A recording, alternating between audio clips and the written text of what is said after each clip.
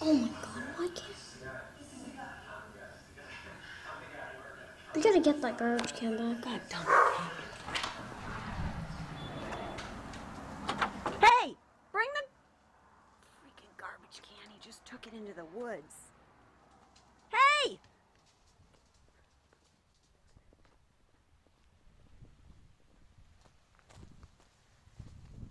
He took the whole garbage can into the woods.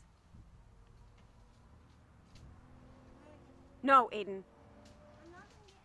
If he can take put a garbage can in his mouth and pull it into the woods, he could take anything.